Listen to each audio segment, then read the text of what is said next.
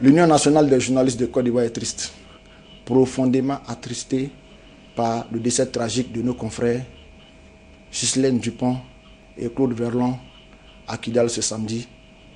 Nous tenons donc à exprimer nos sincères condoléances à l'ensemble du personnel de Radio France Internationale et à la direction de cette radio. Après l'assassinat de Jean-Hélène il y a dix ans, nous pensons que trop c'est trop. Plus jamais ce genre d'acte barbare sur le sol d'Afrique.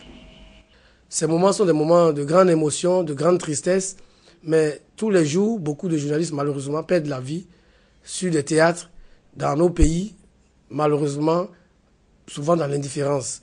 C'est pourquoi euh, nous nous associons à toutes les voix qui s'élèvent aujourd'hui dans le monde entier pour dénoncer cet assassinat, pour demander qu'il soit garanti aux journalistes des conditions meilleures de travail. C'est vraiment dommage, dommage que cela arrive aux journalistes. Parce que c'est celui qui, journaliste, défend toutes les causes, toutes les bonnes causes. Il défend aussi bien le chef dans ses droits que le collaborateur du chef. Il défend aussi bien la famille que ce qui reste de la famille, l'orphelin, la veuve. Il défend toutes les causes et il ne fait pas de distinction.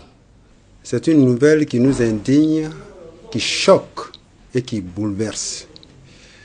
C'est d'autant plus qu'elle nous inquiète parce que assassiner des journalistes dans l'exercice de leur métier nous amène à nous interroger finalement dans quel monde évoluons-nous? Quand le journaliste n'informe pas, on dit qu'il ne donne pas de bonnes informations.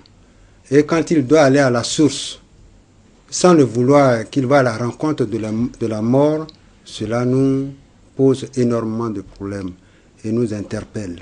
Nous voudrions inviter tous les pays en crise, les autorités des pays en crise, de faire en sorte que l'exercice du métier de journalisme soit protégé dans leur pays. Deux confrères qui meurent dans les îles de travail, c'est quelque chose qu'on ne peut pas accepter.